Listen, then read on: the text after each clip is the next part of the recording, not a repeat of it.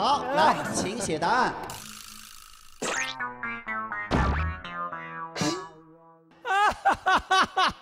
不要看，互相不要看，不要受影响。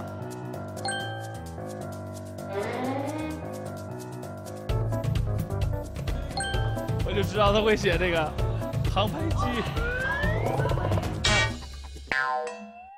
OK，好，三位做出了回答。首先，菜菜，来给我们解释一下，你的答案是航拍机。航拍。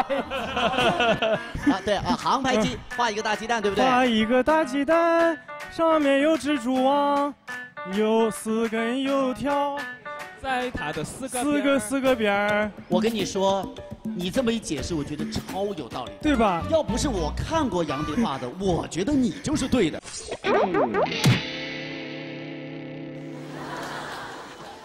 先不着急啊，这说明你的要打个问号。下面真源画的这个，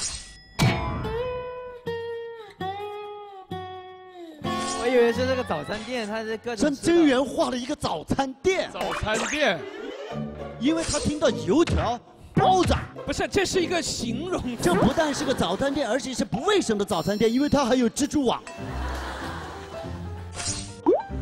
是不是？还有粽子，还有粽子，这孩子啊，从小老实，听到啥就是啥。你也得发散一下，不是他在哪个方位就真实的。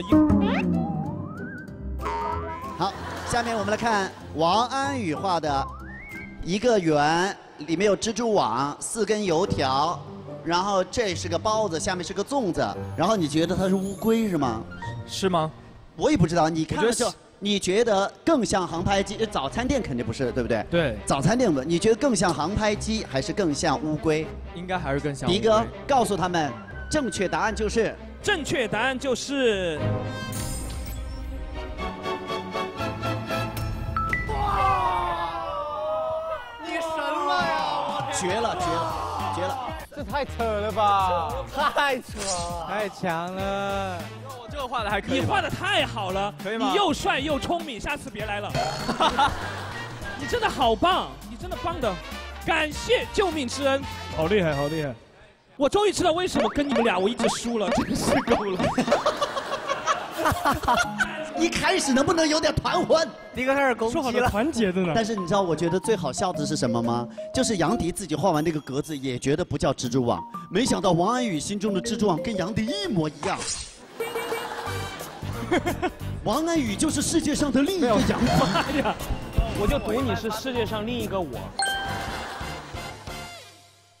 没有，因为我是其实我是他说在上面，然后我以为在这儿，然后结果他画完四个油条，我就觉得有点像乌龟，然后我再加的这些网。可是人哪一个蜘蛛网是格状的呢？